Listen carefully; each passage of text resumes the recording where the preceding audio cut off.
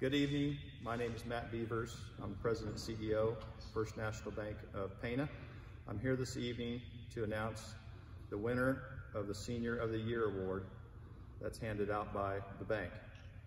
There were nine seniors, the first being Quentin Perry, Trey Patton, Daniel Bieber, Anna Gould, Jacob Byers, Jonah Loff, Casey Swisher, Natalie Stauder, and Olivia Smits.